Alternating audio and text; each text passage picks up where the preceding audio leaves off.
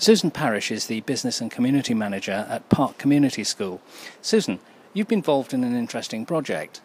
Yes, we have. Um, the school's based in an area of deprivation, and we are trying to regenerate the area and to ensure that the children um, get the right results um, to go on for future life. And what approach have you taken to uh, sort this? Um, we've looked at our standards of teaching, we've looked at working with partners, we bring a lot of expertise in from outside, but it's about passion and commitment of staff to deliver the results that the children require.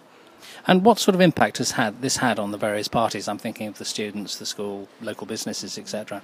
In 1996, 9% of children would have um, um, got a, a, GCSE qualification.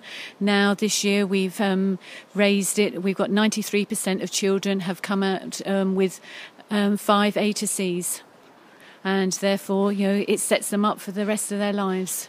And what does this new culture deliver to the community and so forth? It obviously um, bringing um, new blood into the business, you know, the children um, getting those kind of qualifications there, bringing in income to the area. Eventually, it will regenerate the area. Obviously, we're giving these children standards, telling them what is expected of them as a um, person of the community. So, therefore, crime and disorder um, in the area is going down, and you know, it, it's a nicer place to live it doesn't it doesn't deserve now the reputation that it once had. Susan, thank you very much. Thank you.